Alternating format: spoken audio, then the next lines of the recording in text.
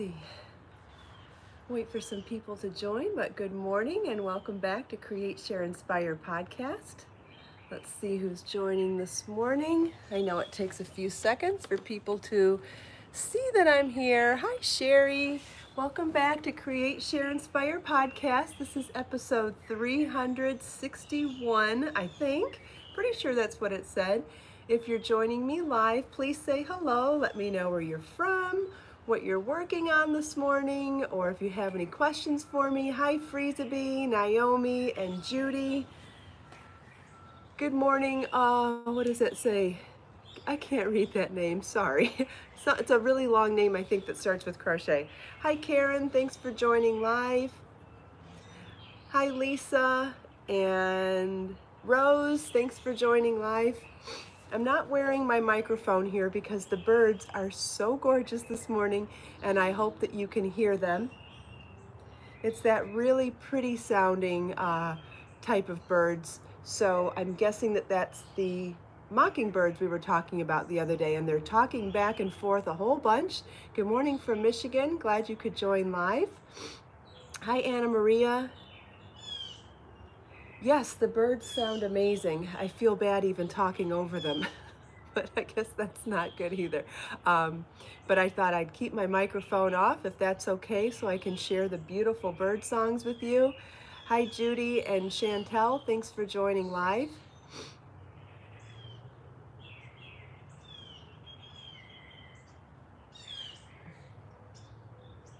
Sherry's working on pattern number nine from Layers. I can't remember the name right now either. Oh, oh, maybe. Is it Selena? No.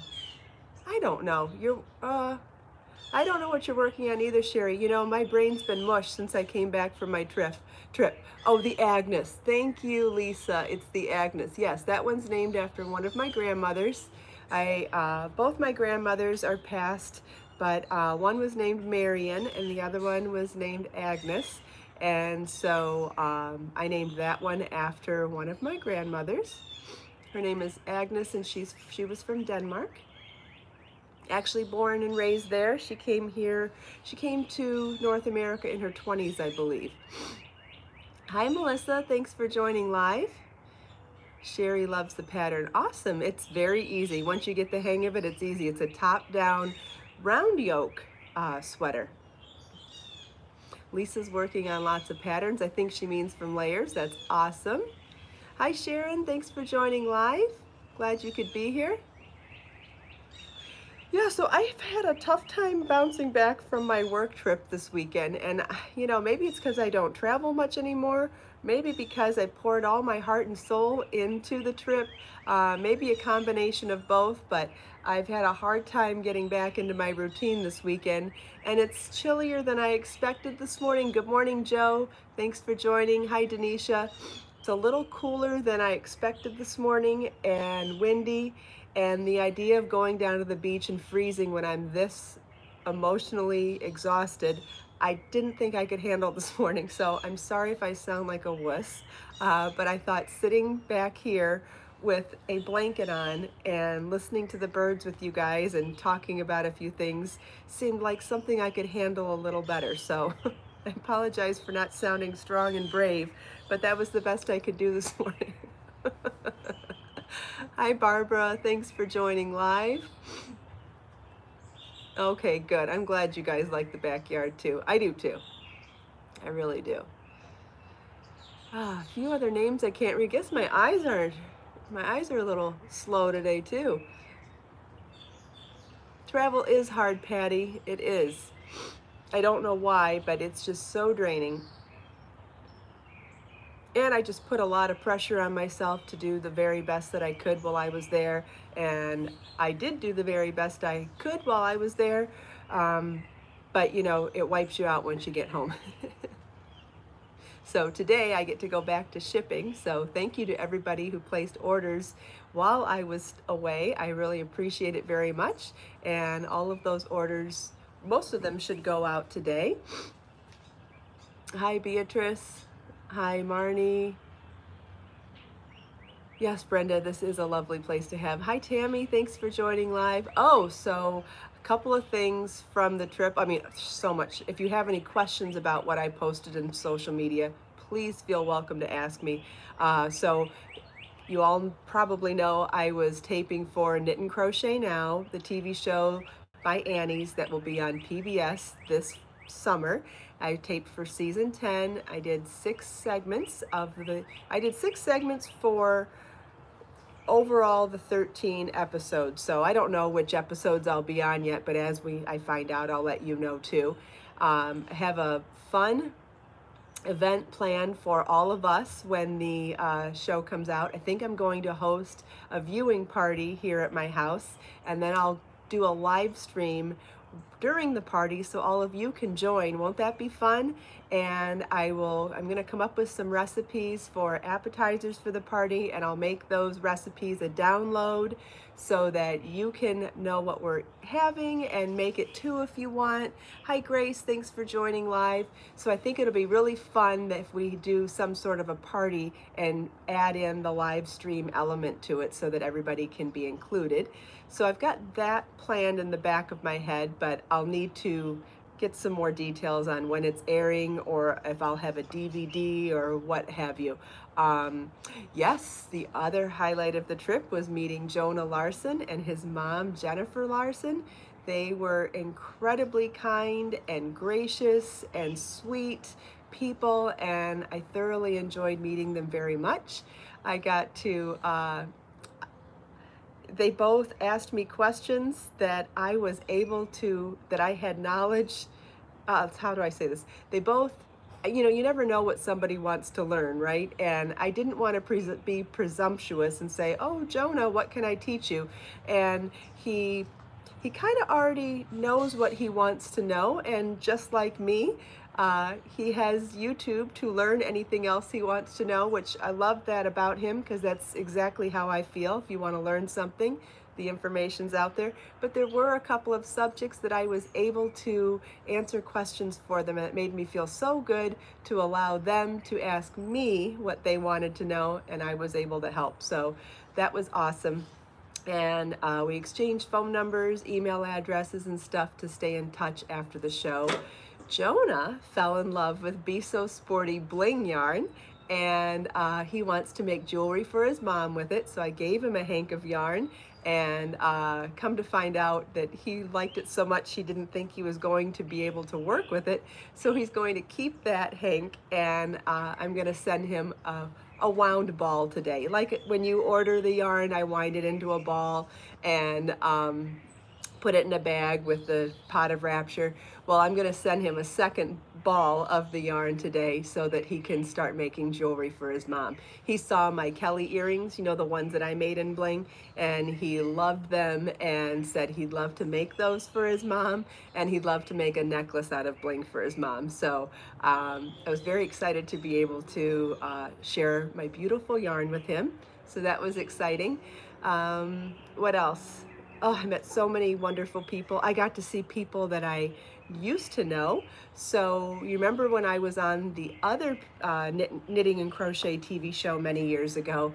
Well, the same production company, director, producer, makeup artist, in Cleveland are the same company that was hired for this season of Knit and Crochet Now. I don't know if they've always been together, but they were this season. So I got to see people that I've known for a really long time, but haven't seen in several years. Think we just I think we um, concluded that it's been six years since I taped the other show.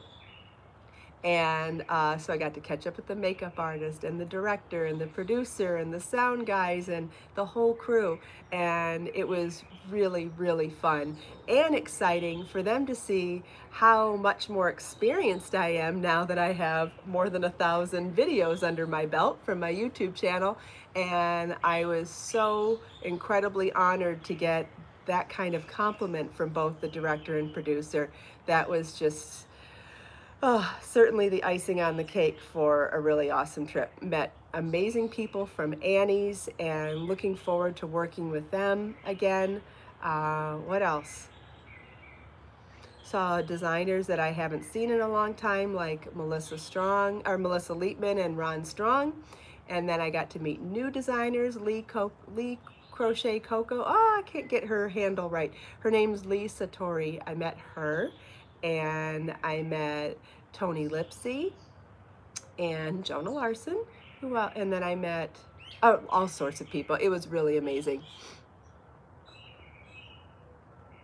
Uh, yeah, Lisa, all sorts of doors could open from this. Absolutely. So you probably also saw that I posted yesterday. I did not get the Sephora squad. I did not make their semifinalist lists, uh, but that's okay. Uh, it was fun to do and it was fun to share with you. And I was so incredibly humbled by your enthusiasm for leaving testimonials for me. And I just want you to know I appreciate it from the bottom of my heart. And it's okay that this door wasn't the opportunity. As long as we keep pushing forward and looking forward and being positive, the right opportunities will come, and that's okay. So, um, still perfectly happy that I tried it. It's okay when you don't get something the first time. Um, will the TV show be on YouTube? No, it won't be on YouTube, but it, um, I will have information for all sorts of different ways to watch it even for people that don't get PBS. So there will be uh, lots of information about knit and crochet now when it's closer to the release date, but um, that you will there will be opportunities to watch it for everyone around the world. So I'm excited to um, I'm excited about that and we'll talk more about it as it comes along. Somebody mentioned that they recognize this blanket as a blanket from the finer edge and you are correct. Um, this is one of my tops from Amazon too, which I love. So this is an Afghan that is a rectangle. So it's worked in the round as a rectangle. And then this gorgeous edging is worked perpendicularly and joined as you go by working this way. You work around the perimeter, turn the corner, and then work that way. So really awesome project It's possible I'll be getting the rights to all of my books back pretty soon. And if that's the case, I'll be able to teach you how to make this and a bunch of other projects. So that will be fun. Uh, what else was I going to talk about today? Please uh, ask questions if you want. If you want to know something about the um, uh, if you have questions about the trip, the show, just please feel welcome to keep asking them. I'll answer anything that I can. Yeah, Barbara, the trim really jazzes this blanket up. You're right. It's a very simple blanket, but then it's two sets of two different types of edging. This one's worked to the body of the blanket. How did I do that? I don't even remember now. it's been a while. Marlon's great. Thanks, Frieza B. He your New York, uh, oh, something about New Yarn Carnival. I don't know what it said. Um, good morning, Lily. Glad you could be here. Thanks for joining live. So, few other things have been going on. While I was gone, some shipments arrived, and uh, I have a new product to show you, something that I've been wanting to manufacture for years, and that is a new laundry bag. So there's so many ways that you can use a laundry bag to keep your life organized and take care of your delicates, take care of your handmade items, and just keep your life organized in the washing machine. So this is a really generous sized laundry bag with a zipper on it so that you can you could put a whole blanket in there like this. You could put a whole sweater in there. You could put a couple of shawls in there. You could do, um, you could use different laundry bags for different people. What if you're washing for several people? You could put your socks and uh, lingerie in one bag and whoever else you live with, you could do their socks and lingerie in another bag. Um, or underwear, who, whether it's man or woman, whatever. Um, but you could organize everyone's different socks this way. You could have a different bag for different people. But even for hand washing and using your delicate cycle on the washing machine, it's fabulous for washing your baby items, your Afghans, and all of your handmade sweaters and shawls. So they're really awesome for that. Great size, so you could do more than one thing at a time. So you can buy these on my website. They're $4.99 and uh, it would make a great gift. Like let's say you've made something handmade for somebody. What if you added one of the bags and a bottle of Rapture to the gift? It would be a great little supplemental gift to go with whatever you're gifting somebody. Maybe you're gifting somebody a bunch of yarn. You could add these items to the gift. But if you're gifting something handmade, it would make it even more amazing as a supplemental gift. Because you know how sometimes we talk about that people, we worry that people don't know how to take care of the items we've handmade them? Well, now you can educate them right from the get-go. So you get them a lingerie bag or a laundry bag and a bottle of Rapture, and you write them in the note, you explain to them what they need to do. Um, I think that makes a really great gift for someone who's being introduced to hand washing or delicate washing. Um, it's also a product that I wanted to have on hand for when I make my donations to women's shelters for Project Kristin Cares because I feel like Rapture has always been something that I like donating in the bags. But I think that a laundry bag would be great also for helping somebody on the run or on the go uh, keep all their stuff organized too. So especially a lot of times women in shelters have little kids with them. So to be able to organize her own delicate separate from her kids might be really nice. So I have this cute little ribbon that I had printed with my website. Can you see how tiny that is? So tiny and adorable. So in my donation bags for Project Kristin Cares, I'm taking a big tote bag this week, a whole bunch of them actually, and I'm filling them each with a bottle of Rapture, a laundry bag, and what else am I putting in there? Oh, and a Create, Share, Inspire notebook. And sometimes, uh, did I make macrame around a mason jar? No, I haven't done that yet. Not yet. Um, really focused on getting layers crochet and layers knit books done right now. So until I finish those, everything else is on the back burner. Uh, but real quick, I so in the donation bags, I'm combining, I'm mixing up the Create, Share, Inspire notebooks, including some in Spanish and some in English. I don't know if you're aware that they're all five of the first issues are all available in Spanish as well as English on Amazon. And so I'm going to mixing mix up some of the donation bags with them in Spanish and English because the shelter that I'm going to be donating to is in an area that has a lot of Spanish speaking people. So I thought that might be a really nice surprise for people. Um, jazzy. It does look handmade. I don't know which thing you're talking about. Oh, the jar on my table. Yes, I made this. Oh, this is not macrame. No, this is crochet actually. So I took Be So Dazzling and a bunch of different yarns. I think I took some Be So Bold and maybe some Be So Sporty Bling it's been a while since I made this, so I don't quite remember. And I made the flowers separate, just a simple crochet flower. And this is actually crochet chains. So like it's a chain seven and a single crochet. So it's just mesh around the top. The flowers are sewn on with their tails, which is so easy to do, right? You already have the tails, may as well use them for sewing. And then I added fringe at the bottom. So it's actually all crochet. And then I added beads to the little sections in between the fringe. Just something a little wild and crazy to have outside. Thank you, Barbara. It's been outside for a really long time, so the colors are faded, uh, but we get such intense sun down here, and at my last apartment, um, it was in direct sunlight outside, so, uh, but it's still gorgeous. I still love it. Thanks, Lisa. I never did make a pattern for it. Probably should. Oh, we have a visitor. Hi, sweetheart. This is Becker. Are you cold today too? Do you need a blanket? I baby them like crazy. I can't help it. Uh, is that a wool blanket? I believe it has some wool in it. I don't know if it's 100%. Whoopsie. Okay. Uh, what would be nice in the jar as a treat? Um, I, I'll, I'll show you what I, what I like putting in there. I'll be right back.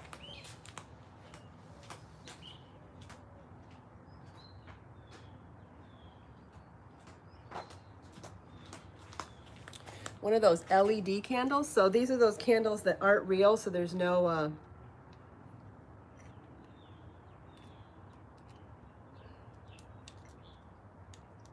I don't know how to turn it on. Did I do it right? They're not that old, so I couldn't have done it that wrong. Hmm. Well, anyway, if I figured out how to turn this on, um, it would go inside here, and that would be probably my favorite idea for filling the jar. We get so much rain here that I think putting anything else in there might get funky. Now, if the glass were clear, and the next time I find a clear jar, what I'd like to do is add some seashell, some sand from the beach and some seashells and then a bigger version of this in the center. I think that would be gorgeous out here. So maybe like a hurricane, what do you call those glass jars or glass vases that call the hurricane jars or something? Um, so it's very, uh, it has no curves to it. It's just a big round cylinder of glass and that would be really pretty to fill in there. Oh, do we have another? Hi, sweetheart. Come. He's back. yeah, that would be really pretty too. So we'll do that next. Oh, he's hiding his face. That's when he's being really cuddly, is when he hides his nose in my arm. oh, who's a baby? Hmm. All right, we're going to have one other product in the store later today. And that is Eucalan wipes if you've never used Eucalan wipes before, so this is the company that makes Rapture All Natural Delicate Wash, this stuff. And so the unscented base of the cleaning solution is saturated onto a wet wipe, and these are miracle cures for stains.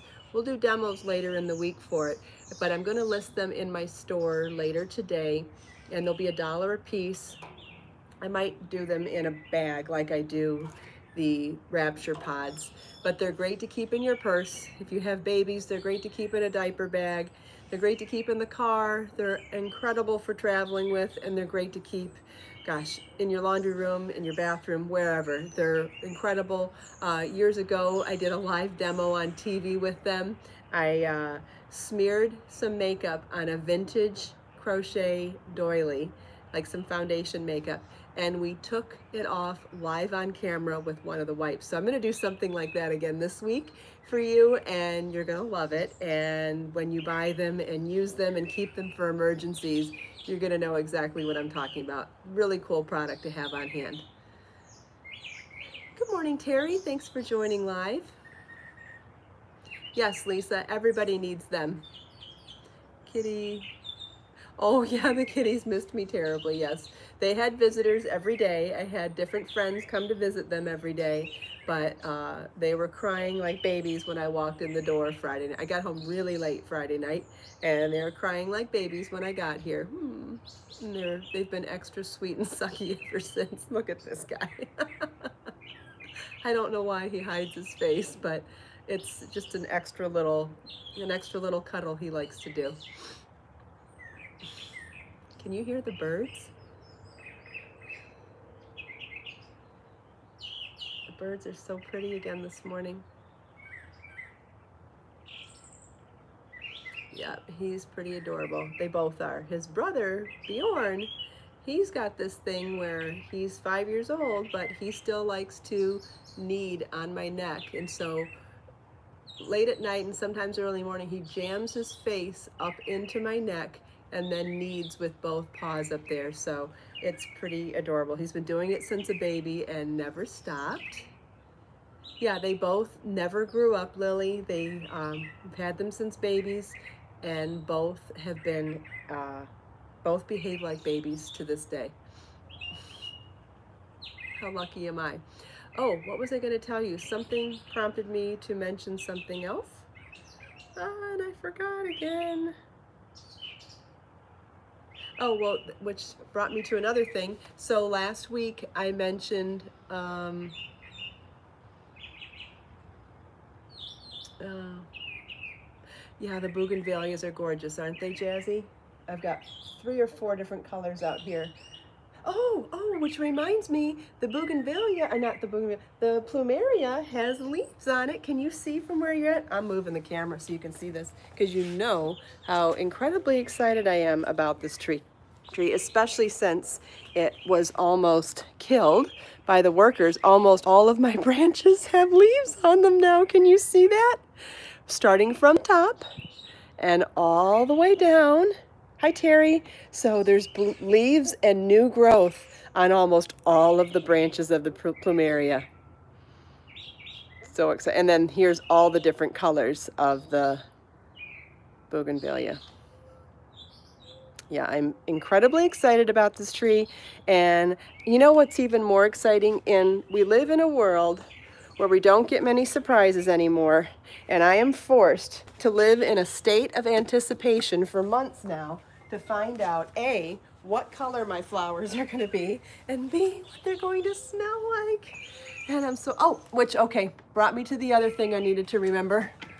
I told you guys, I shared a picture of my makeup artist while I was in Cleveland, taping for Knit and Crochet Now for Annie's and for PBS, and I shared a picture of Karen with me, who's been my makeup artist for TV for many, many years, and she came up with a new solution for my dark circles under my eyes, which are really bad, and um, I told you that I'd be sharing the product once I came home she introduced me to a thing called color correction. And it's a product you put on before concealer and before foundation. And um, she told me that if you find a peach correction, color correction thing, that it would remove the blue from the dark circles so that it is easier for the concealer and the makeup to hide them. Now, I have twofold problems with my under eye area. They are, my eyes are deep set, so there is actually a pocket here that shadows um, develop, and that's just part of my bone structure. So I have a pocket that gets a shadow, but I also have dark pigmented skin in here, which is genetic. It's also sun related, it's also diet related. There's all sorts of reasons that you can have dark circles. And I believe they get worse with age. uh, no, this isn't an apartment, Christine. I was mentioning my last apartment that um, where this was on a balcony.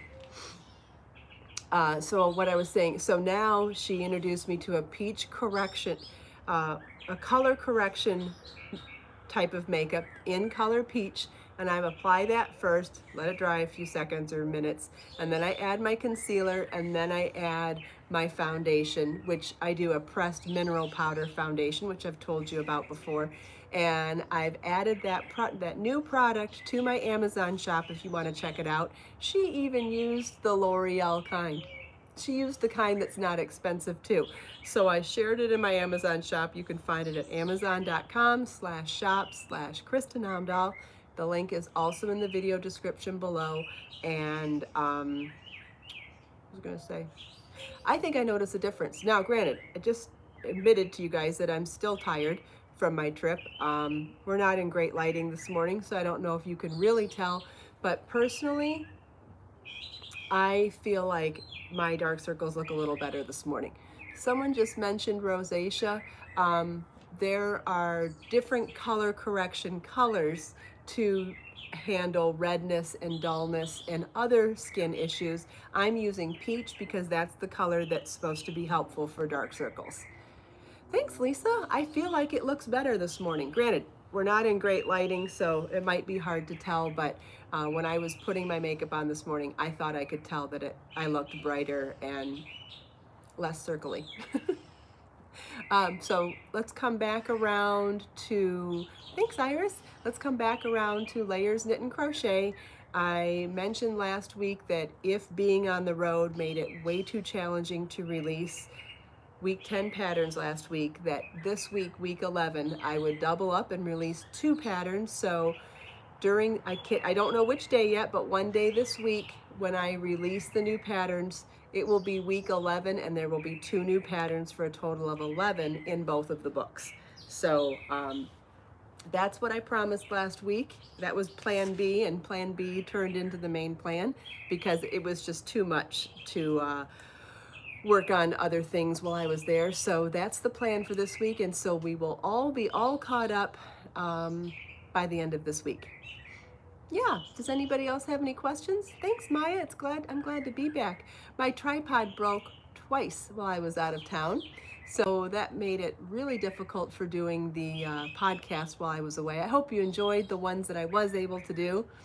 Friday was just impossible though. I uh, I was in makeup at 7 a.m., did half of my taping segments in the morning, had a car drive me to the airport, and flew home all on the same day. Um, so getting up at 6 and not getting a.m. and not getting home till 10 p.m. and going full speed the whole time. Um, and insecurity is when my tripod broke for the second time. So I was planning on doing it from the airport and couldn't. And so I just said, okay, we'll just have to wait till Monday.